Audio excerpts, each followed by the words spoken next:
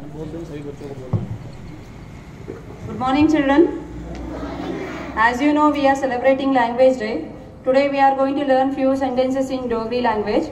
As you know, you have to repeat two times, means twice. Okay, in English, we say hello. In Hindi, namaste. In Dogri, namaste. नमस्ते You have to repeat, children. Okay. In English, we say, what is your name in Hindi आपका नाम क्या है?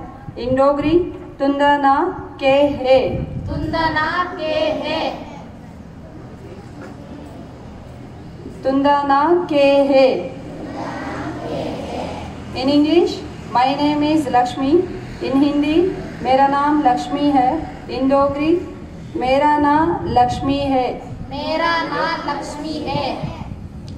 In English how are you in Hindi आप कैसे हैं? इन डोगरी तुंदा के हाल है तुंदा के हाल है in English I am fine in Hindi मैं ठीक हूँ. इन डोगरी हाउ ठीक हाँ ठीक हाँ थैंक यू